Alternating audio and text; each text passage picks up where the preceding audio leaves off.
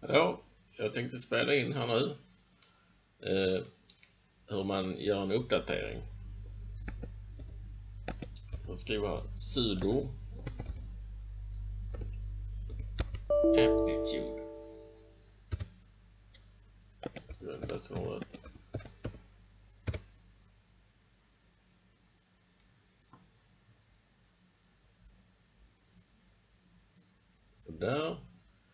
Eh, sen ska jag då eh, köra U här, uppdatera. Eh, trycker jag U här. Litet U. Eh, nu uppdateras eh, själva registret där det står var den ska hämta filerna. Så den gör inte några uppdateringar på riktigt än, utan det är bara att den Ta reda på var den ska hämta det ifrån. Eh, den viktiga uppdateringen kallas för uppgradering. Det står där uppgraderingsbara paket där. 25. Då kan vi kolla vad det är för någonting. Ja, det är lite jobbigt att gå in på. Så. Eh, man går med piltangenten och trycker på enter. Eh, det finns många där.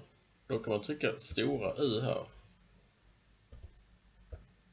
då väljer man dem. Eh, sen kan jag trycka G här. Och står det paketet som kommer uppgraderas här. Eh, kan vi eh, kolla där. Mm, paket som kommer bli borttagen har typ två där. Och sen finns det en massa paket som kommer att uppgraderas. Eh, så. Då kan jag trycka på G här igen så kör jag uppgradering här nu.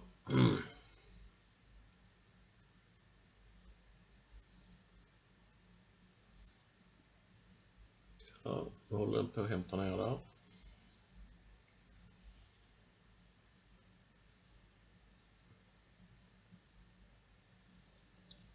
Gick den ur AppTube där, men det är bara för att den ska... När den installeras så gör den det.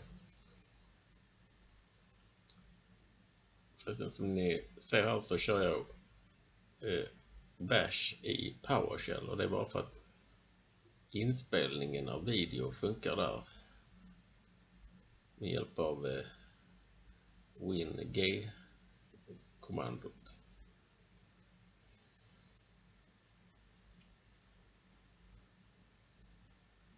WinG-kommandot lär använda någon sorts Xbox-funktion för att spela in video. Eh, det kommer nog funka i vanliga Bash också.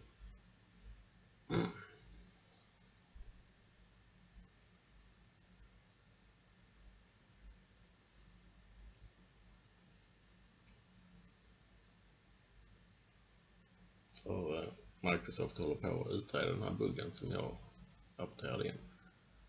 Eh, även rapporterat in en del andra buggar som de har fixat och en del är kvar att fixa.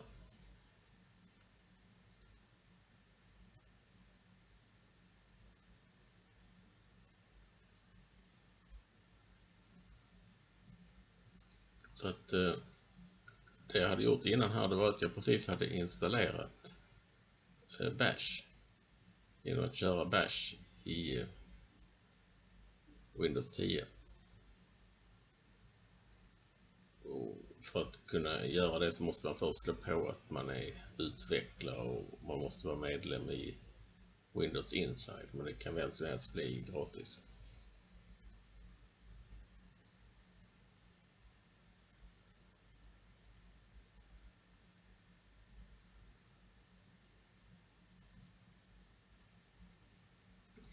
Förresten det här när man kör Ubuntu i eh, Windows så är det egentligen inte Linux-kärnan man använder utan de har tagit eh, API, alltså vilka funktioner som finns i Linux och sen emulerar de de funktionerna så att de eh, har skrivit då för varje funktion så har de skrivit eh, eh Windows-koder som gör samma sak som Linux skulle gjort.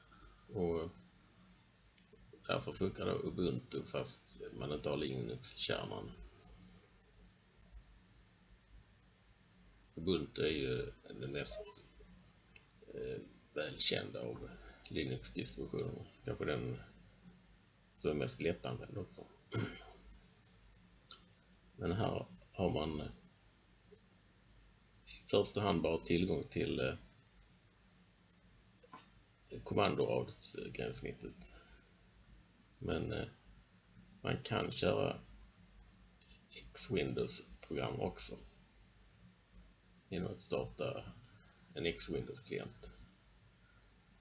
För att X-Windows är uppbyggt på så sätt att den använder nätverket för kommunikation så det räcker med att nätverket funkar så kan man få upp fönster och sånt.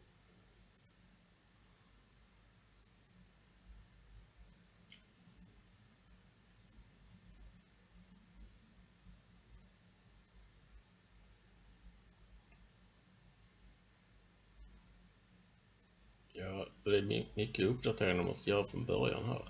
Ska man ha installerat det direkt. Eh, det beror på att de använder Ubuntu 14.04. Så det är en version från april eh, 2014. Eh, sen har de uppdaterat lite grann men det blir ändå en hel del uppdateringar man måste göra. De ska gå över till 16.04 snart. Eh, 16.04 är den senaste versionen men eh, det är också ska LTS-version Long Time Support och det är eh, 14.04 också. De LTS-versionerna kommer ut eh, vartannat år.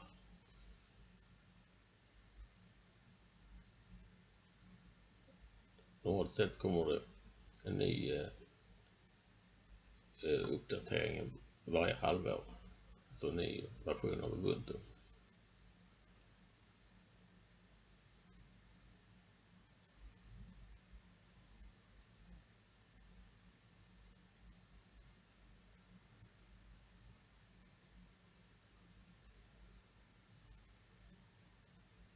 Ja, tryck trång för att fortsätta. Jag har glömt det. Det måste man göra efter man har installerat då via Aptitude. Eh, så detta är egentligen ett lite ovanligt sätt att uppdatera för att eh, ofta kör man ju istället apt-get för att uppdatera och uppgradera. Man kan även köra dist-upgrade. Mm. Men de använder samma databassekunder så det ska inte bli några fel om man kör Aptitude. Aptitude är lite mer grafiskt program för då kan man eh, söka efter program till exempel som man vill hitta. Alltså om man till exempel undrar här vilka CAD-program, Computer eller Design, så kan man då söka efter de här. Så hittar man något här, eh, OpenSCAD Solid 3D Objects. Sen trycker man på en då för att hitta nästa.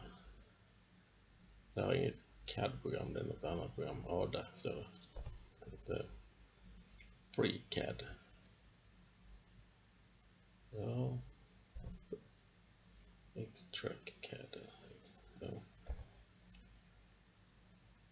Det finns eh, lite olika CAD-program här.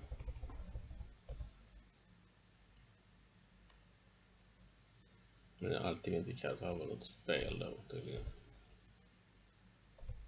Så att, eh, mm. Ja, men i alla fall eh, sen eh, när man har letat efter programmen då så trycker man eh, plus om man vill installera dem. Och sen så G så kommer det installeras. Men det måste man trycka G en gång till för att det ska starta installationen. Mm, ja, så vi kan avbryta här nu. Q trycker jag då. Vill du avsluta? Ja, det är på svenska här för att vi har svensk Windows.